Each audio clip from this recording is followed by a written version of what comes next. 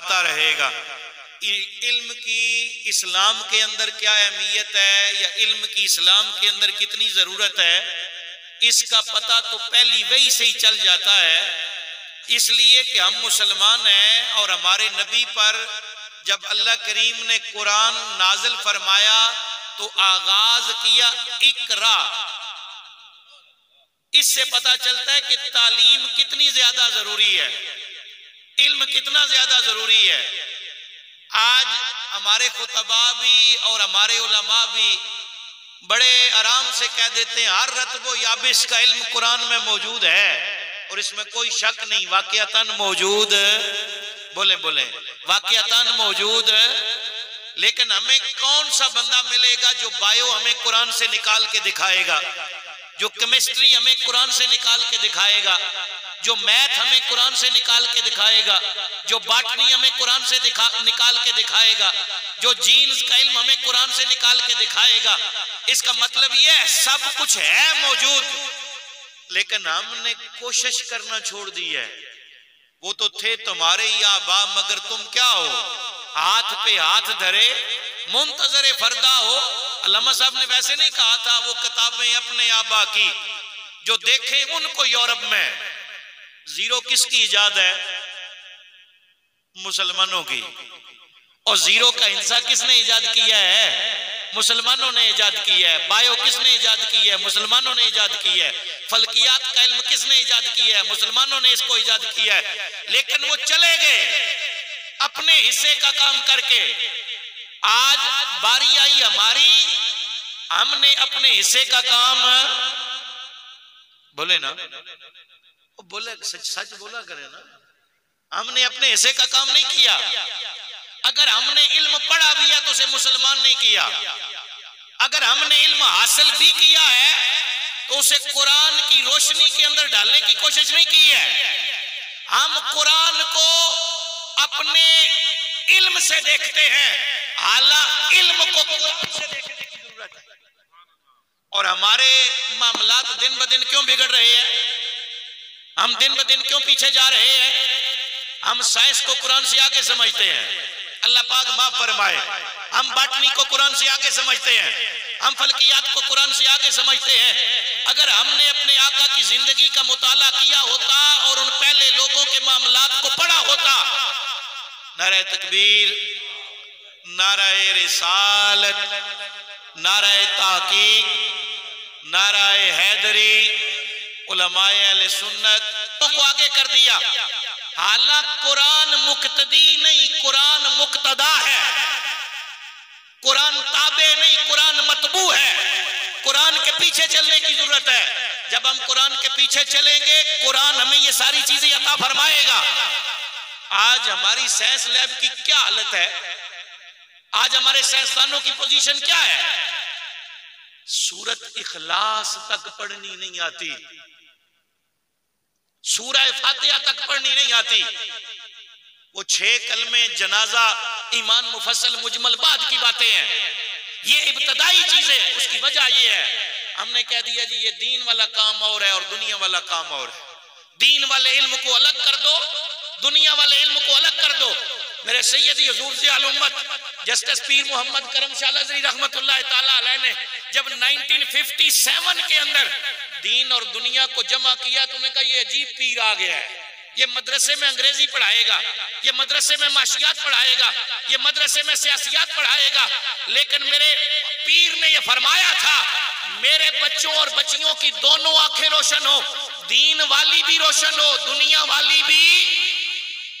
यकीन करें इस वक्त भी अमेरिका के अंदर, यूरोप के अंदर, यूरोपियन कंट्रीज़ के अंदर मस्जिदें खाली हैं, खतीब कोई नहीं। मदरसे खाली हैं, उफाज कोई नहीं। क्यों? हमें अंग्रेज़ी नहीं आती। हम इंग्लिश जबान में दीन की तबलीग नहीं कर सकते। उसकी वजह यही है, हमारे जहनों के अंदर बुनियादी ये चीज़ें डाल दी गई। अर्ज़ करने का मकसद ये है, इस्लाम किसी भी इल्म से मना बोले, किसी भी इल्म से मना, चाहे वो इल्मुल अदियान है, चाहे वो इल्मुल अबदान है, इल्म की दो ही किस्में हैं। इस्लाम दोनों इल्मों का बानी भी है, दोनों इल्मों का रखवाला भी है, दोनों इल्मों का मुहाफिज भी है। हाँ इस्लाम ने हदूदो कयूद ज़रूर बनाई। है बच्चों के लिए अलग हदूदो कयूद है, बच्चियों के लिए अलग हदूदो कयूद है, बच्चों के मदारस के अलग मामलात है, बच्चियों के मदारस के अलग मामलात है आपको पता होना चाहिए, जो मुकसरीन रवायते रवायते हदीस करने वाले सियाबा हैं, वो सात हैं। कितने? जिनसे सबसे ज़्यादा हदीसें मरवी हैं ना, वो कितने सियाबा हैं? सात। उन सात सियाबा में चौथा नंबर उम्मुल मोमिनीन सईदा आयशा सदीका रज़ी अल्लाह ताला पहली फकीया है इस उम्मत की। और अगर आप ये फिकी किताबों को उठा के देखें तो मर्दों के मसाइल कम नज़र आएँगे, औरतों के मसाइल ज़्यादा नज़र आएँगे। और हमें खुद नहीं पता होता। हमारी बीवियों को पता नहीं होता, हमारी औलादों को पता नहीं होता। माए बेटियों को बताने से कतराती रहती है इसलिए उन्हें खुद खबर कोई नहीं। और हमारी अपनी हालत यह है कि हम बिज़नेस बिज़नेस तो खूब जानते हैं, लेकिन अगर बात फर्जों की आ जाए तो जी। बात तो सच है, मगर बात है रसवाई की। इसमें कुछ शक तो नहीं ना? इसलिए ये ये मदारस बनाने ज़रूरी है। ये कले बनाने, मेरे सैयदी हजूर फरमाया करते थे, ये जो दीनी दरसगाएँ होती हैं, ये इस्लाम के कले होते हैं। जब तक दीनी मदरसा कायम है, तब तक आपका दीन कायम है। और जिस दिन दीनी मदरसे खत्म हो गए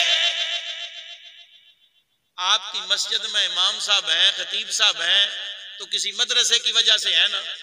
मस्जिद आप बना दें, करोड़ रुपया लगा दें, खुतबा देने वाला खतीब कोई ना हो, नमाज़ पढ़ाने वाला हाफिज कोई ना हो तो मस्जिद बना के करना क्या है? तो इसलिए इन इल्मी दरसगाहों को बनाना भी ज़रूरी है, इन इल्मी दरसगाहों को आबाद करना भी ज़रूरी है, और माओ का किरदार कितना है, मैं सिर्फ़ एक बात अर्ज़ करूँगा। इसलिए कि हज़रत भी तशरीफ़ ले आए हैं और हम चाहते हैं वक्त के ऊपर दवा हो जाए। वैसे दीन के साथ वफादारी बड़ा औखा काम है। गाड़ी की रस्ते में हादसा भी हो जाए, बंदा गाड़ी को वहीं पे छोड़े, लोकल गाड़ी पे आ जाए और उस वो बंदा लोकल गाड़ी पे आ जाए जिसने लोकल गाड़ी पे कभी सफ़र नहीं किया तो फिर वफादारी जरा औखा काम है ना। आपको पता है किबला खालिद साहब की गाड़ी को रस्ते में हादसा पेश आया? वहाँ से फिर लोकल आए हैं, चकवाल मोड़, फिर वहाँ से यहाँ से एक दोस्त गए वो इनको लेके आए। फिर भी है मौलवी मौलवी होने और थोड़ी सी सोच बदलने की ज़रूरत है। थोड़े से तरीकाकार बदलने की ज़रूरत है। और ये यहूदियों की साजिश है, जो आपके उलमा का इमेज आपकी नज़रों में कम किया जा रहा है। ये दुनिया का तरीका होता है, जिस चीज़ की वैल्यू कम करनी हो उन लोगों के बारे में शकू को शुभात पैदा कर दो।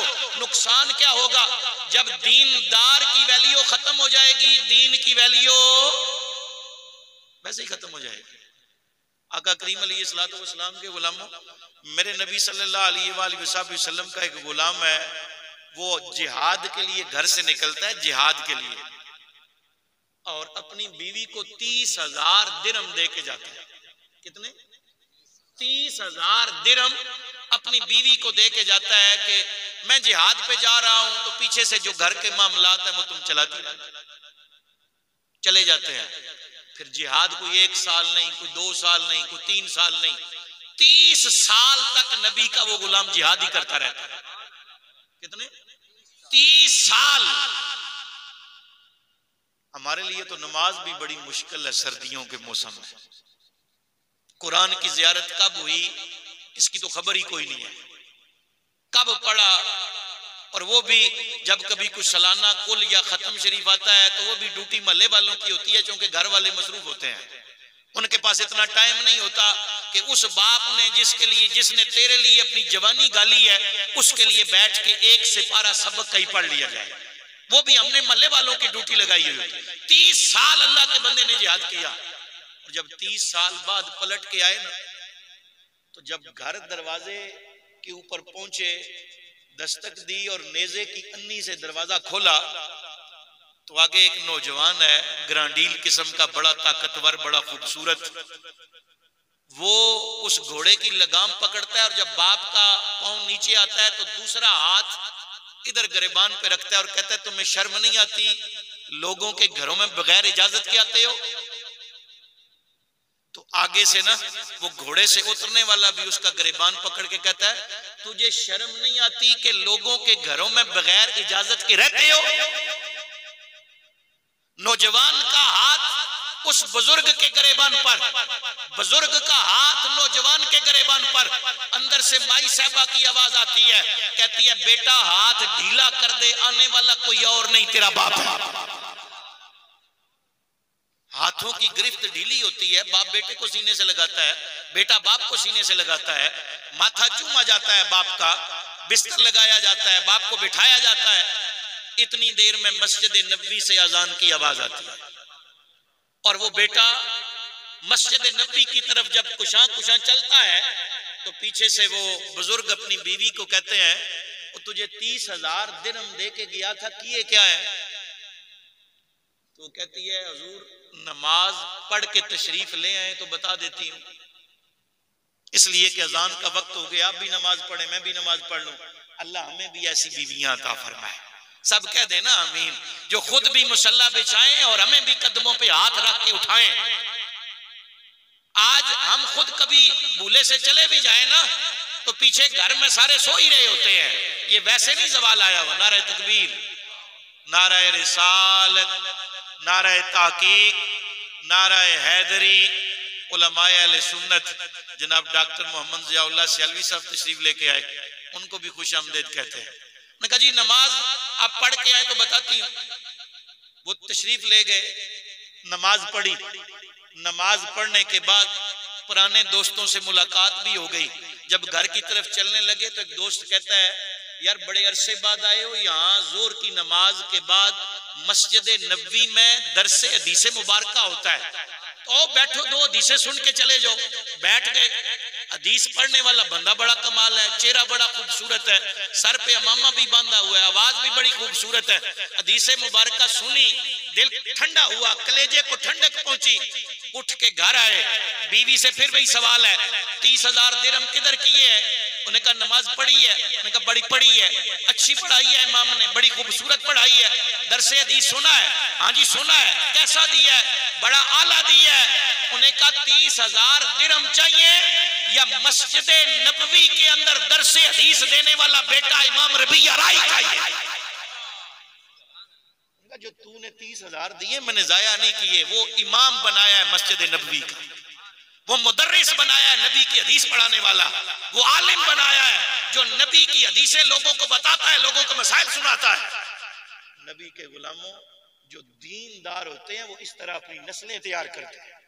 आज हमारी भी ज़िम्मेदारी है, आज हमारी भी ड्यूटी है। और मैंने तो ये कुछ छह महीने हुए हैं, चार छह गाँव में अल्लाह ने कामयाबी दे दी है। मैं आपकी भी खिदमत में यर्ज करूँगा। कि हम जनाब चालीसवा चाफ्ता करते हैं, जनाब दरिया आ गई, साउंड आ गया, जनाब सब कुछ हो गया, क्या मस्जिद में दरी कोई नहीं? बोलो यार, मस्जिद में दरी है या कोई नहीं? स्पीकर मौजूद है या कोई नहीं? छत है या कोई नहीं? तो क्या वो काम मस्जिद में नहीं हो सकता? और जिस काम के लिए आप पचास साठ हज़ार रुपया हवेली में खर्च करते हैं क्या वो मस्जिद में नहीं हो सकता? कब तक हम इस नाक के चक्कर में इतने आगे चले जाएँगे कि लोगों को वापस बुलाना भी हमारे लिए मुश्किल हो जाएगा? और ये वलीमे और कुल का जो अब आपस में मुआजना होना शुरू हो गया ना, खुदा के लिए वापस आ जाए। अपने हमारे दोस्त हैं इधर जियाउल्ला साहब जानते हैं उनको, अकरम साहब, बच्चियों की ब्रांच है उनकी। तो उनके वालद साहब फौत हुए ना तो बहुत बड़ा जनाजा था तो उन्होंने जनाजे में ऐलान कर दिया कि कल जनाब, दो दिन बाद कुल है मस्जिद में तो जितने लोग जनाजे में आए हैं, सबको दावत है, दस बजे आ जाए। ठीक हो गया जी। गुजर खान की सारी मस्जिदों में भी ऐलान करवा दिया, वो भी सारे आ जाएँगे अच्छा दो अढ़ाई हज़ार बंदा आ गया कुल श्री वाले दिन, तलावत हुई, नात हुई, बीस मिनट बयान हुआ। वोट के खड़े होके कहते हैं, यार, आप लोगों ने मेरे बाप के जनाजे में शिरकत की, मैं आपका शुक्रगुजार हूँ। आप कुल में तशरीफ़ लेके आए, मैं आपका शुक्रगुजार हूँ। लेकिन माजरत के साथ मैंने आपके लिए खाने का बंदोबस्त नहीं किया। मैंने अपने बाप के इसाले सवाब के लिए एक लाख रुपया मदरसे में दिया। अपने बाप के साले सवाब के लिए जो तोफीक होगी, मस्जिद की खिदमत करूँगा। मुझे बताएँ उनका अमल ठीक है या गलत? जी, सारे बोले, ठीक है या गलत? तो क्या हम ये काम नहीं कर सकते? क्या चार, छह किलो खजूरों के ऊपर कुल नहीं हो सकता? किस चक्कर में पड़े हुए हम। बंदा बाद में मरता है, जीने वाले पहले मर जाते हैं। ऊपर से हालात क्या है, वो आप ज़्यादा बेहतर जानते हैं। तो जिनको अल्लाह ने तोफीक दी हुई है ना, वो गरीबों की जिंदगियाँ तंग ना करें। वो मस्कीनों की जिंदगियाँ तंग ना करें, ये मदरसा बनने वाला है ना। बाप के साले स्वाब के लिए पचास हज़ार दो, माँ के साले सवाब के लिए लाख रुपया दे दो दादी दादे के लिए करोड़ रुपया दे दो। जब तक मदरसा कायम होगा, जब तक इसमें बच्चियाँ कुरान पढ़ेंगी, नबी के दीन का इल्म सीखेंगी, तब तक तेरे बाप की कब्र मेरा रब ठंडी फरमाता रहेगा। आए थोड़ी जिंदगियाँ बदल लें, आए अपने तरीका कार बदल लें। औरतों का बड़ा किरदार है, जब तक माँ की गोद दुरुस्त नहीं होगी, औलाद कभी दुरुस्त नहीं हो सकती। अगर और माए पड़ी हुई होंगी तो हज़रत इमाम अहमद बिन हम्बल जैसे बेटे मिलेंगे। हज़रत इमाम अबू हनीफा जैसे बेटे मिलेंगे। अगर माए नबी का दीन जानती होंगी, फिर हसनो हुसैन जैसी औलाद मिलेगी। अगर माए कुरान का इल्म जानती होंगी, बच्चे कारी के पास बाद में जाएँगे। पहले उन्हें कुरान याद होगा क्यों? कि माँ पेट में लेके भी अल्लाह के कुरान की तिलावत कर रही होगी। तो इसलिए ये बहुत बड़ा एक काम है, जिसका बीड़ा उठाया है किबला डॉक्टर मोहम्मद जियाउल्ला सियालवी साहब ने। और इसकी सरपरस्ती आपके हाफिज साहब फरमा रहे हैं। हम भी इनके साथ हैं, हर हवाले से ताउन भी साथ है। आज मदारस की बड़ी ज़रूरत है। यलगार हो रही है। कहीं इलाहाद का हमारे ऊपर जो है वो वार हो रहा है। कहीं मुस्तशरकिन हमें तबाह बर्बाद करते चले जा रहे हैं। इसका फकत हल ये है। इल्मी काम का जवाब इल्मी काम से ही मुमकिन है। और अगर हम इल्म से रूशनास होंगे तो हमारे ऊपर ये जो पूरी दुनिया के दरवाजे बंद हैं, ये खुलते चले जाएँगे। अगर हम इल्म इल्म में कमज़ोर होंगे, हम कभी कामयाबी और कमरानी हासिल नहीं कर सकते। ये जिन्होंने जगह दी है